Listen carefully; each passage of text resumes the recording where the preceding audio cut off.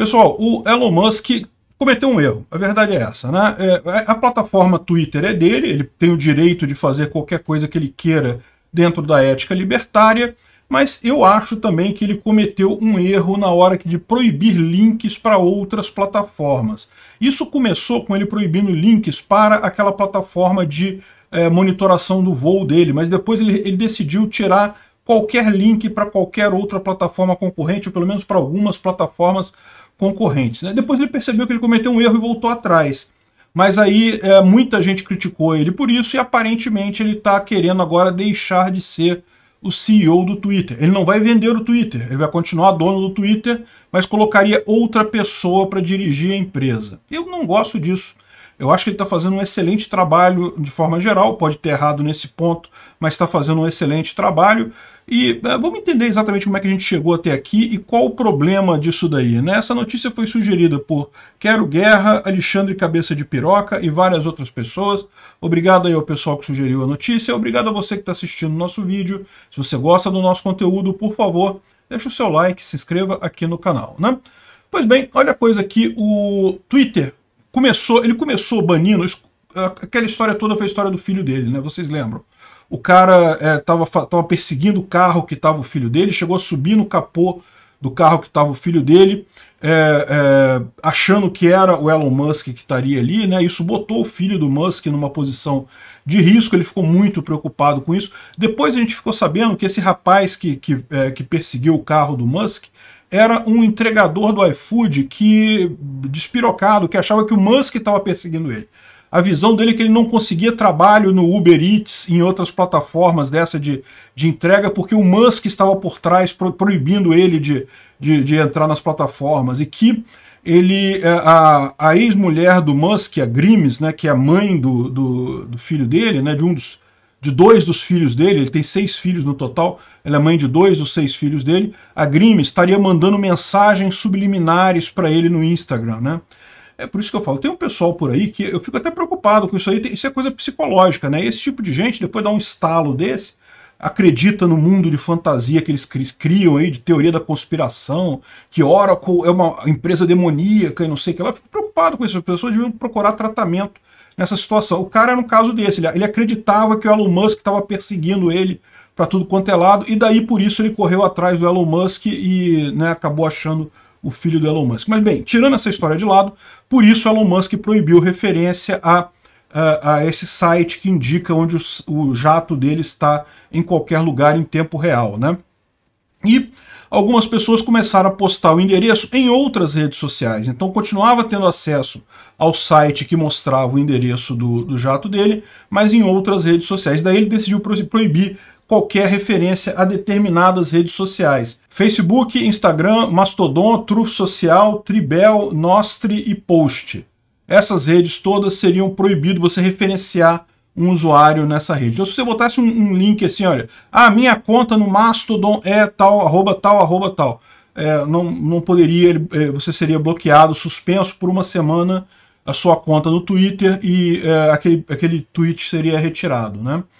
Então, é, essa foi a política. Chegou a ser uma política mesmo, estava na página de políticas do, uh, do Twitter, né? Você vê que não está mais aqui, ó. Roles and Policies, Social Platform Policy, eles tiraram isso, não está mais. E o próprio Elon Musk, ele discutiu com o pessoal aqui, ele falou, o, pessoal do Quartering, né? Falou, olha só, eu quero, eu vejo algumas, algumas contas que o único propósito é promover outras plataformas, né? Mas proibir pessoas em geral de linkar com outro com outra plataforma, poxa, é meio que um exagero. Ele falou, é, isso parece razoável, né? A gente vai, vai ajustar essa política, né? E depois ele próprio fez aqui um, uma pergunta se a gente deve ter uma política prevenindo a criação ou uso de contas existentes cujo principal propósito é fazer propaganda de outra rede social e mesmo isso perdeu de muito, né? O pessoal está realmente contra o, o, Elon Musk nessa história.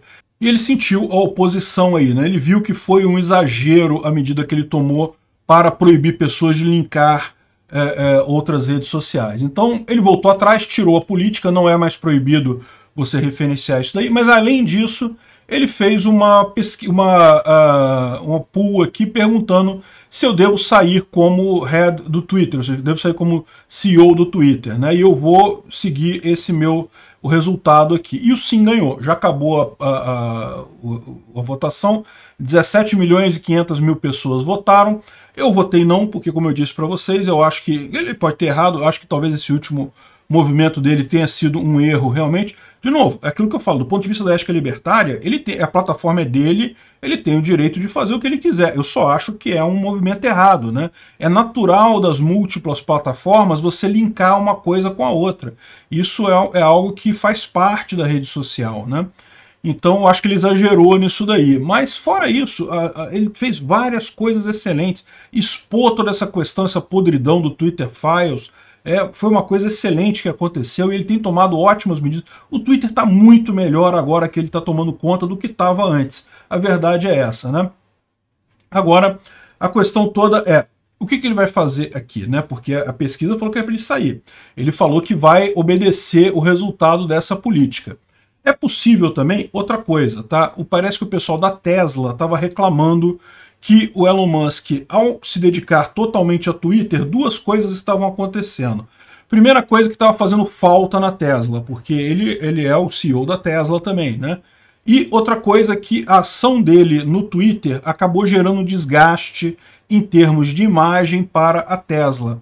Então, ou seja, parece que na verdade isso daqui é muito mais a questão dele, olha só, vou ter que voltar para a Tesla.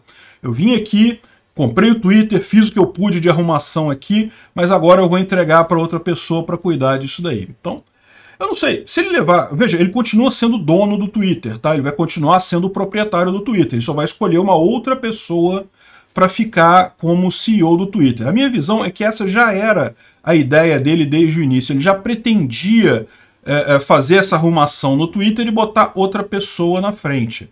Agora, o fato é, a gente vai ficar dependendo de quem é essa outra pessoa, porque é uma posição complicada, né? O Musk vai querer alguém que tenha a mesma linha de raciocínio dele, que tenha a mesma visão sobre a plataforma do que ele, né?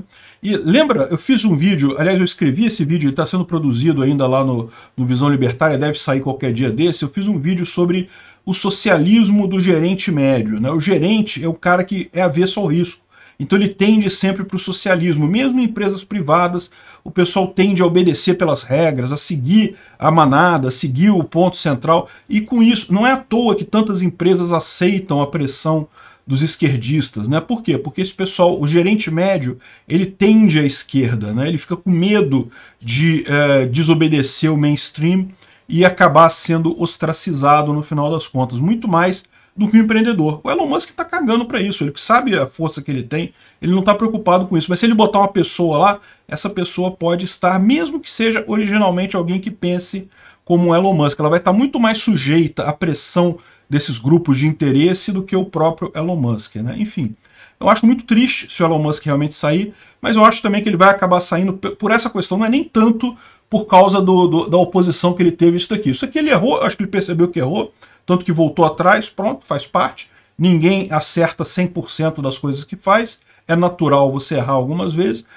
O, o trabalho dele no Twitter, na minha visão, ele só está acertando, mas pode ser realmente que tem essa, essa questão da interação dele com a Tesla e coisa e tal, e uh, o pessoal está buscando ele voltar mais para lá, ele não se expor tanto publicamente como ele tem se exposto no Twitter. Né? Vamos ver o que vai acontecer. E principalmente vamos ver quem que ele vai colocar no lugar. Eu torço para ele voltar atrás, tá?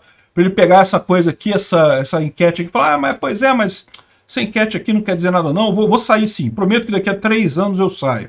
Aí beleza, tranquilo, daqui a três anos o Twitter já vai estar estabilizado e coisa e tal. Se, porém, ele resolver sair mesmo, eu entendo que é mais por conta dessa pressão com relação à Tesla, né? E é, a grande questão que fica é, quem que vai entrar no lugar dele? Isso vai ser bem preocupante. Obrigado por assistir o vídeo até o final. Além de curtir, compartilhar e se inscrever no canal, considere se tornar patrocinador com valores a partir de R$ 1,99. Clique no botão Seja Membro abaixo para saber as condições e vantagens de patrocinar o canal. Mais informações sobre o nosso projeto, visite nossos sites indicados na tela.